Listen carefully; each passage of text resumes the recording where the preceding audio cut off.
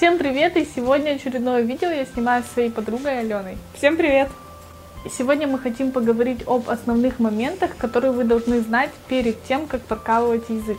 Кстати, мы уже снимали подобное видео э, буквально три месяца назад, вот здесь вот, вот, вот тут вот, вверху в шапочке можете найти это видео, либо я ссылочку просто внизу оставлю. Мы рассказывали, показывали, как мы меняли сережку, рассказывали свои ощущения, э, после прокола языка и так далее.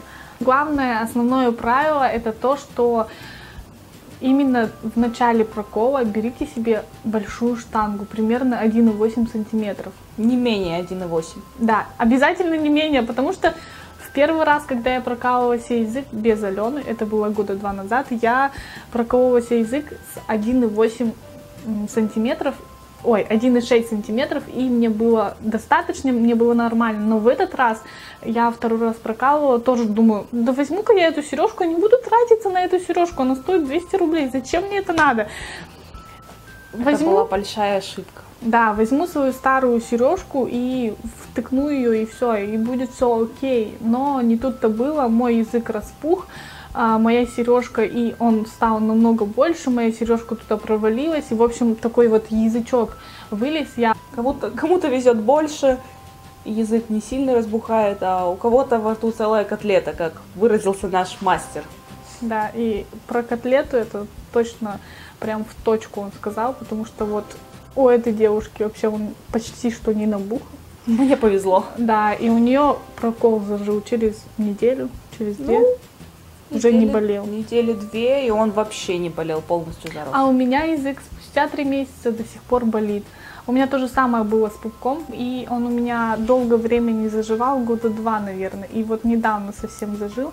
И то же самое происходит с языком, именно поэтому я сняла сережку, потому что он у меня просто не заживал, я думала, что прокололи мне не так как надо. Теперь поговорим с вами о неприятном запахе изо рта, когда вы только одели сережку и начинаете с ней ходить. Очень плохой момент, из-за которого большинство девочек, ну или мальчиков снимают сережку, не понимая, как нужно обрабатывать ее и вообще снимать и чистить и так далее. Самый оптимальный вариант это при чистке зубов вечером снимать сережку и также чистить ее, почистить ее немного щеточкой, лучше промыть хлоргексидином, также сполоснуть рот хлоргексидином, как говорит вам мастер. Я, например, когда чищу зубы утром, бывает, снимаю сережку и чищу ее щеточкой, потому что когда снимаешь сережку, нюхаешь, и там такой противный запах какого-то металла, который окислился, и неприятный запах у тебя изо рта постоянный.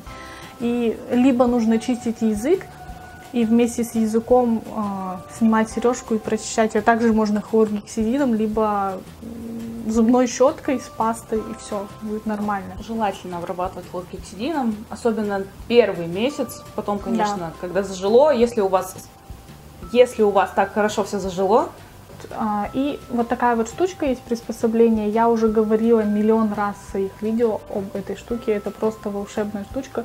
Продается она в Ашане, стоит около 50 рублей. Я советую ее всем да. своим друзьям. Алене. У нас это просто сущие копейки за эту вещь. Чудо-вещь.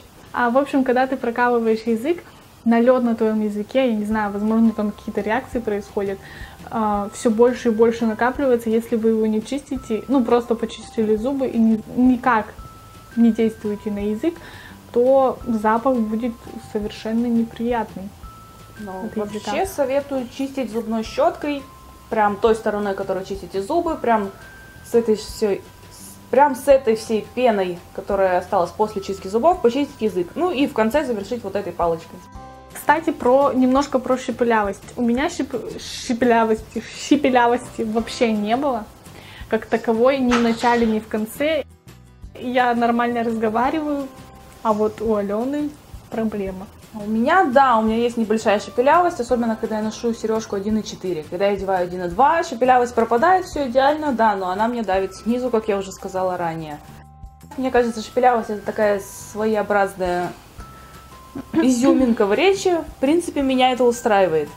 То есть не, нет ничего идеального. Например, у меня этот язычок, который меня конкретно бесит, у нее шепелявость, у меня там, не знаю, еще что-то, у нее какой-то плюс, у меня минус. В общем, нет идеального прокова и нет гарантии того, что у вас все будет идеально. У тебя замечали, э, например, когда ты беседуешь с человеком, кто-нибудь замечал твою сережку? Кто-нибудь тебе говорил, о, у тебя сережка, типа. Бывали у тебя такие моменты? Нет? А у меня Не бывали. знаю, это большая редкость, как-то обычно люди не сильно обращают на это внимание. Ну, когда смеешься э, сильно так, а или Если ты будешь так рожать, то, конечно. то люди замечают и как-то думают на это до сих пор, э, как бы 21 век, а люди до сих пор живут, не знаю, в 19 веке, для них это какое-то новшество. Ну, как по мне, они все думают, что типа прокол делают только шлюхи какие-то последние, чтобы ублажить своего клиента и так далее. Мне до сих пор есть такие люди, которые мне это говорят. Мы надеемся, что вам это видео было полезно. Оставляйте свои комментарии внизу, мы ответим на любые вопросы. Ссылочку на Аленин инстаграм я оставлю внизу в описании. В Инстаграме я веду, начала вести небольшой мама-блог, немного рассказываю о детях, немного рассказываю о нашем путешествии, как мы переносим дорогу и все остальное. Если вам будет интересно, подписывайтесь, читайте. Самореклама. Сейчас еще раз скажу, подписывайтесь, читайте, потому что прошепелявила. Давай. Подписывайтесь, читайте. Реклама на Сашином канале. Бесплатно. Сама реклама, да. Я этот момент не буду вставлять. Я же монтирую это видео, чтобы у меня чуть подписчиков добавилось. В общем, подписывайтесь на мой канал. Не забывайте ставить большие пальчики вверх, если вам это видео понравилось или было полезным. А с вами была Аленка Штыбко.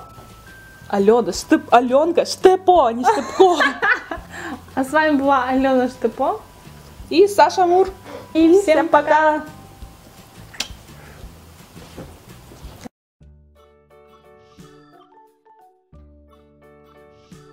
Всем привет! И сегодня очередное видео я снимаю со своей подругой Аленой. Я хотела сказать фразу, но я забыла. Всем привет.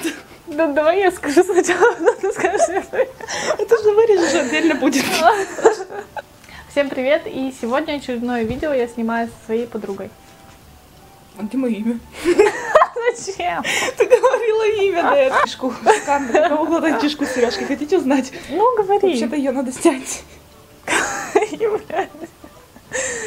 Ты что, мои мысли читаешь, что ли? Это ты мои читаешь, походу. Она заживает. Ампутировать. Чикнуть язык, как она мне сказала, через неделю. После того, как у меня это, этот язычок второй типа образовался, она мне сказала, да так херу выходи, он тебе чикнет, язык твой вообще замечательно. Чик. Ох, Ох, ох. Ну, в принципе, отсняли, что еще нам надо сказать? Ну давай думай, что еще можно сказать. Ух, ух, ух. Как там? Да. Это Тёмка там. Мы с мамой видео снимаем.